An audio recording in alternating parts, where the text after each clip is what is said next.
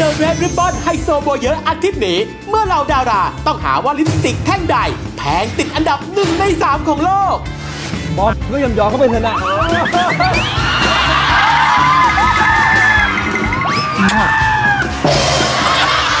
และจะเกิดอะไรขึ้นเมื่อพิธีกรขอวัดความเป็นไฮโซ โดยวางตำแหน่งเป็นเดิมพัน ถ้าเกิดว่าข้อนี้ผมตอบไม่ถูกถอดผมมาเป็นพิธีกรเลย เฮ้ยพ ลาดไม่ได้ The Red Ribbon ไฮโซโบเยอะอาทิตย์นี้5โมงตรงทางช่อง 3